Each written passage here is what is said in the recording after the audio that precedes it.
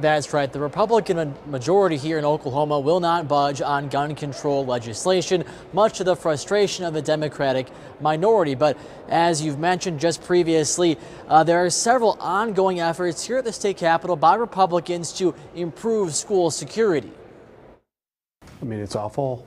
I, it's numbing now, I think. I mean, we, we see these all too often. Another mass shooting in the U.S., leaving lawmakers with familiar reactions. It's devastating and, and become all too normal. Democratic State Rep Forrest Bennett is part of a small minority, mostly Democrats, who argue some sort of gun control is the best way to minimize the risk of a school shooting here in Oklahoma. And it seems that the solutions in the minds of a lot of my colleagues are to give more people more weapons and that um, somehow that that will make it better. There are two bills currently being put forward by the Republican supermajority.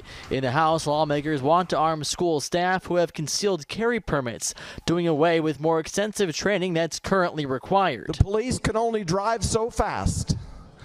They can only run so fast.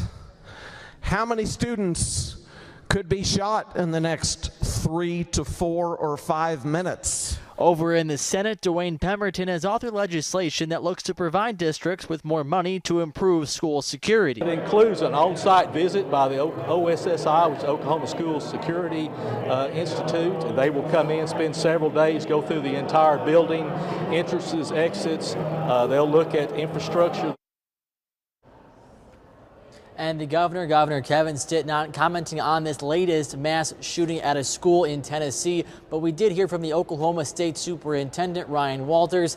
He issued a statement via Twitter just yesterday. He said he was saddened by what happened in Tennessee, adding that his department will be announcing several new initiatives that he argues will help prevent shootings like what we saw in Nashville and that Senate school security bill is currently awaiting a House hearing, a hearing in a House committee, but is currently being held up because of a fight over education policy between the House and the Senate.